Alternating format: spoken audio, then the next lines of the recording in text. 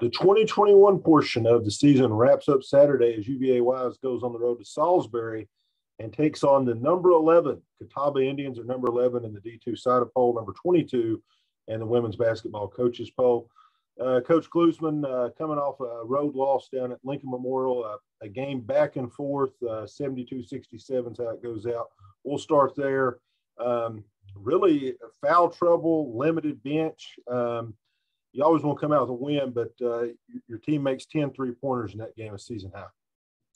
Yeah, I mean, there's a lot of positives to take from that game. Like you said, uh, foul trouble definitely played a part in it. I had my top three scorers on the bench for most of the second quarter.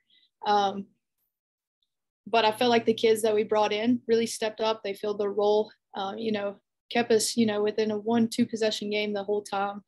Um, but, you know, being down two starters definitely hurts um, just because of like rotations and things that our kids were used to up until that point. But like you said, a lot of positives. We hit 10 threes.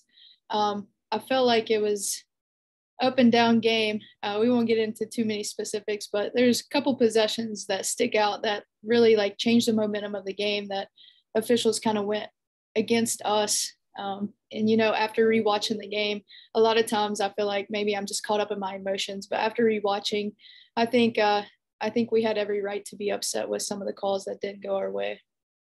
Mackenzie King's a senior. Uh, we've seen her have big games before. She scores a season, has 16. But the one that stands out to me, and maybe this is a, a positive we can take forward, Hester hits three three pointers, a season high nine points. Talk about that a little bit, and maybe if she's earned herself a little bit more playing time. Yeah, Josie has been playing extremely hard in practice every single day. And, you know, that's what we've tried to get her to buy into. You know, the speed of the game coming from, you know, the high school that she attended is totally different. Um, but you know, she led the entire state of North Carolina in scoring, so we know what she's capable of doing. But she just had to kind of catch up to the speed of the game. But Josie is one of the most pure shooters I've ever been around. Um, so I feel like she's kind of like finding her place within our rotation, within our um, motion concepts and things like that. So she's definitely going to uh, get some more minutes coming, you know, into the second semester because she proved that she can come out uh, and knock down shots. But more importantly, I thought she was really big on the boards for us. You know, she's a bigger guard um, compared to some of the other players on the roster. So she came in, um, got some big boards against Lincoln Memorial, and you know, defense has been a priority for her to improve on. So if we can kind of continue in the going in the right direction where she's been heading, I think I think she'll be able to come in and contribute a lot for us. Uh, Catawba is a team that you weren't able to play last year due to COVID 19. Every time we were supposed to play them, uh, COVID reared its ugly head. They're the best defensive team in the league, at least on paper, forcing around 24 turnovers a game, hold opponents uh, 55 points a game. Your impression of the Indians? I mean, they're tough. Um, they're gritty. They're going to run and jump, trap all over the court, full court, half court. Um, you know, they're just firing on all cylinders on the defensive end. So, you know, we've put in a couple of things to try to alleviate some of that pressure um, with a press offense. Um, but I think if we just have the right players in the right position uh, handling the ball, I think we'll be okay. We're going to turn the ball over. I mean, that's what they do. Um, but we just have to prevent them from going on big scoring runs because, you know, looking at box scores, watching film, when they put together really big runs, it's almost impossible to overcome that just because of the intensity that they have on the defensive end. So we have to limit their runs. Right now, UVA Wise is in, a break. First semester's over. Um, I think it's, it's helped your team. You've spoken a little bit the last time we played about, you know, having everybody at shoot arounds and things like that. Before we get into that a little bit more, I'll let you talk a little bit about um, the performance that these kids did in the classroom. I think we had seven kids on the dean's list.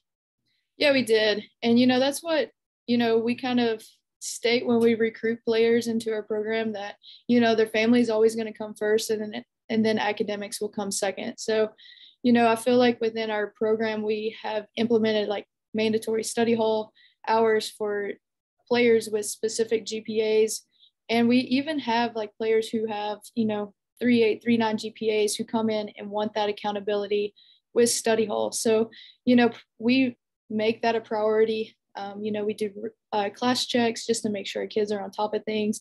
Our kids utilize the writing center, tutoring services, and all of that because, you know, with the strenuous schedule that they have being full time students, along with basketball. It's a lot on their plate, so we just try to encourage them to use their resources. But you know, they they've dialed in, and like you said, we had seven um, make dean's list, which is you know a very good percentage of our team. So you know, we as coaches are very proud of them. Um, you know, we're happy with with our kids off the court just as much as we are on the court.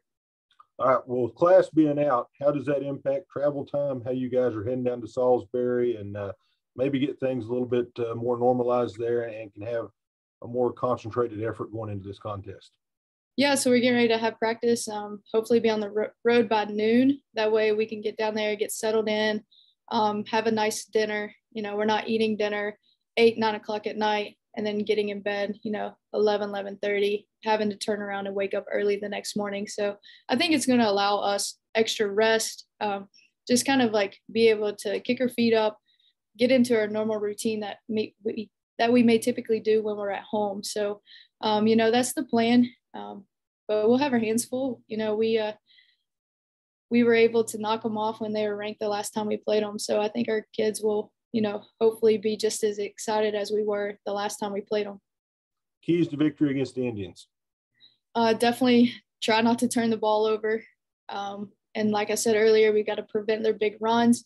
And I think if we can score a majority of our points, around 70% of our points in the paint, and not fall into, you know, their style of play where they want to rush shots, you know, force you to take those outside shots, I think we'll we'll be able to put up more than 55 points a game tip off 2 p.m. from Salisbury, North Carolina. You can listen live locally on FM 92.5 or online at WLSDradio.com. Coach, Merry Christmas, Happy New Year, and we'll catch you up uh, in 2022. Sounds good. Thank you.